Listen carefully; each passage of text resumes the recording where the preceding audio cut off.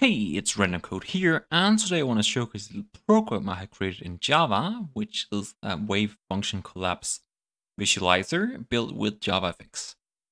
And just quickly I want to showcase the project. We can then go through like the concept and some of the code, and then we will revisit the visualization. But in general, when having some tiles, in this case we have a bunch of tiles, and we can then randomly place them like this, but that's kind of boring we can then use a wave function collapse function, which then build them like one tile at a time and then build a collapsing tree more or less, which then allow us to have these connected views, which I personally think looks amazing. And I love to see how we can generate these randomized, but compared to something random, it's not completely random because we have some rules about how each of these tiles can be placed according to each other. But that is the simple demo. I can do a wave function collapse, which is random every time. I can just do random tiles. And for now, if I reload, it starts black, and I I can then actually also build my wave function collapse like a few tiles at a time to see how it actually works. How it's slowly building. We can see how it sometimes puts multiple tiles. If there's no other possible tiles, just fill them in. Otherwise, it's going to take the next few tiles. But let's actually go through the basic concept. So first of all, in resources, we have these five images. So we have a tile, which is like no entrances. Entrance on top, right, left, and top, right, bottom, and so on. So we have these like five different base tiles.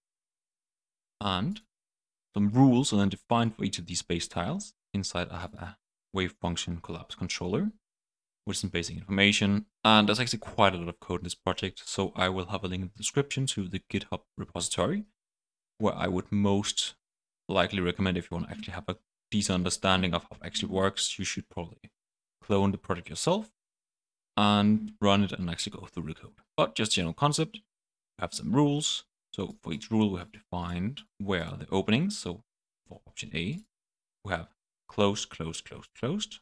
So the rule is 0, 0, 0, 0. Option B, we have open, open, closed, open. So the rule is going to be open, open, closed, open. So matching like the sides of our tiles. We then put them into a map, which then allows later on to access them. And we then have like two parts. We have this JavaFX part, which just simply draws our tiles as we saw on the screen and we also have a wave function collapse part, which is built completely using Java. So like JavaFX is just used to draw these tiles and draw the program. I'm not going to go too much into that. And we then also have a few wave function collapse setups. We have a cell, simply containing a list of options. A boolean rather not it has been collapsed. And a secure random to allow some randomness to pick which cell to pick if there's multiple possible options. So how it actually works is that when we start having a grid, we're going to have a full grid of tiles. For now, it's going to be a list of cells with options. And at first, all the cells have five options. So for now, imagine we have like a bunch of cells here where each cell contains the option of all five images. We then run the first process of wave function collapse, a single tile is picked at random. For this tile, we then pick a random image, and we then recalculate the possible options for all the other tiles once again.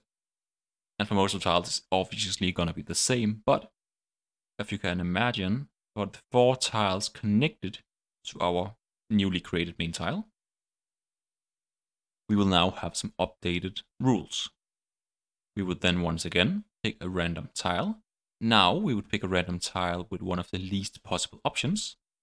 And because we added one tile, every other tile is going to have five options still, but the four tiles connected to them. So we're going to pick one of these tiles at random, and one of these tiles now having four options, or less depending on the setup, it will then pick one of these possible options.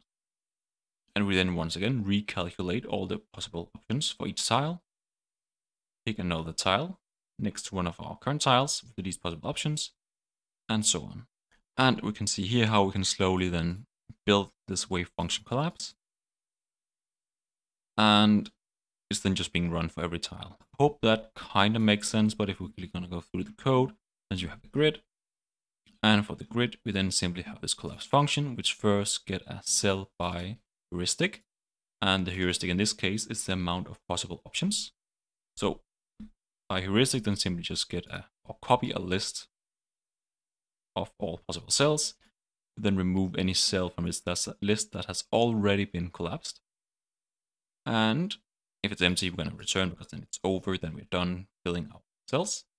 Otherwise, we're going to sort them by order, so we're going to get the cells with the lowest heuristic, so with the fewest amount of options first.